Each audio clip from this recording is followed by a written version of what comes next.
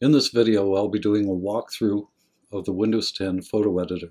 I find the Windows 10 photo editor to be a very good editing application, and it has many more features than you would normally get from a simple photo editor.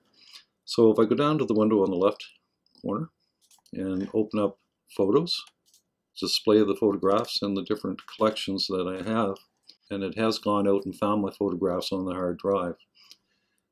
I had to specify the folders which the photographs would be found in. And uh, this one is a demo, which I'll be using. One of the things I'll show you is the settings. Um, under settings, we can actually go into different sources and change the sources. So in this particular case, I have E uh, photos as well as E demo temp 1. I can also add a folder. If I select add a folder, of course, it gives me the Windows Explorer or File Explorer and I can select another directory and it will pick up the photographs automatically from that directory. I'm going to go back to folders and what I'm going to do is I'm going to select this folder. Now I sort of prearranged these ones in this temporary folder for the demonstration. One of the things I want to check out right away is red eye. Now I'm just going to select this photograph here and I'm going to go up and go to the photo editor and down here we have red eye. I just want to check to see what kind of job it does. So I do a click here, I do a click there, and actually it does a pretty darn good job. That's good. So, all right, leave that and go back again to our other photographs. The picture I want to work on right now is this one here. It's a picture I had taken in the fall. There's several things I want to modify. The framing, it's a little off, as well as I guess some pillars here, uh, I guess the roadside pillars, and I want to remove those. And I want to enrich the colors as well, overall. Uh, that includes the blue of the sky, perhaps the ground. So I'll invoke the editor. So once the editor is invoked, on the left-hand side we have the primary tools and for each primary tool, correspondingly on the right-hand side, we have a subset.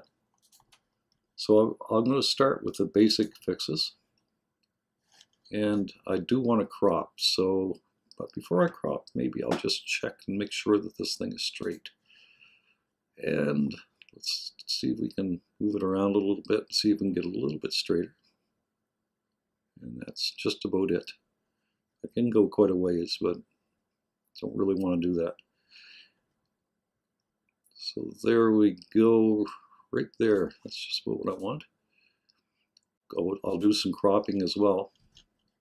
Now under cropping, if I select this icon up here, I can do a custom crop, which I'm going to do right now. Uh, go back to original. I can do a square crop or even a widescreen crop.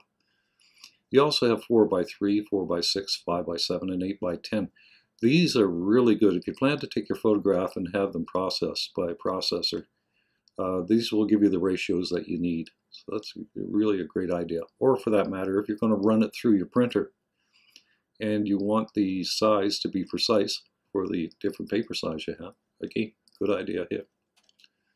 So I'll just do a check mark there and get rid of that. And I'll go back to uh, sizing my photograph. So I'm going to pull this down a little bit. And then I'm going to move the photo around inside of the frame. And that's just about what I'm looking for. So I'll do a check mark on that. Now I'm just going to check here to see if there's anything else I want to do. I want to do a retouch to get rid of my pillars here. So I'll select retouch. And this item I really enjoy a lot because I can take that out of there and it sort of smartly puts something else in, which is kind of neat because I don't have to worry about it uh, messing up the picture with smudges or anything along those lines, you know. And so I'll select retouch again. It's turned off. So those are the basic fixes. I try auto enhance, but auto enhance isn't exactly what I want. So go back to filters and on the right-hand side, it's demonstrating using different filters that are available, sort of auto filters that are available. And if I click down through them, there's none that will do exactly what I'm looking for, although that's one is nice. Now I'll select undo because there's not anything here that I'm looking for. So the next tool I'll go over and select will be light. Now I'm going to be coming back to light off and on several times. I'm going to check the brightness and actually I could use a cut back a little bit on the light there. Contrast, always, always need contrast. Now I am doing a lot of fidgeting with this photograph, but it's uh, primarily to demonstrate the functionality of this application. And I like that contrast now, but I may come back. Highlights, this is going to lighten up the light areas or darken the light areas. And actually I would just want it slightly dark. And shadows, lightens the shadows or darkens the shadows. And I'm not sure what I'm going to be doing with that one quite yet. I am going next to colors. Select colors. And under colors, uh, we have temperature, tint, saturation, and color boost. As far as the temperature is concerned, it may look a little cool, so I might try to warm it up just a bit. It Gives me a warmer feel to the photograph. Tint, uh, no, too green and too orange, so I'm going to leave that as is for now. Saturation.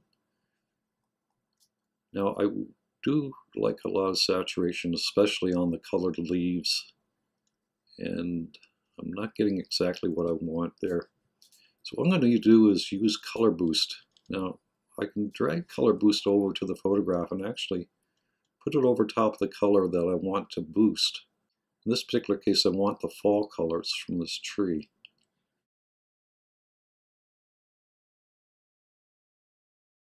Those are the colors actually I'm looking for. I'm going to do a boost one way, and lo and behold, uh, the tree brightens up quite a bit. Now I can overdo it, but I'll just go to over here.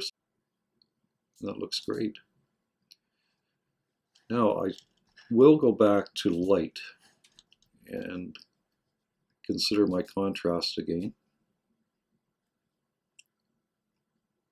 That's good. And my highlights.